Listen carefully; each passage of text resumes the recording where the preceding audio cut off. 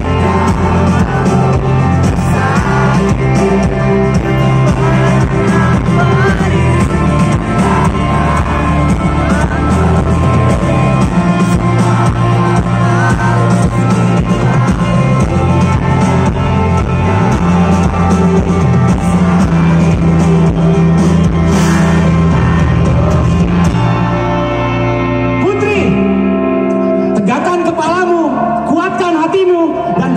ini untuk orang yang telah menyakiti kalian di luar sana.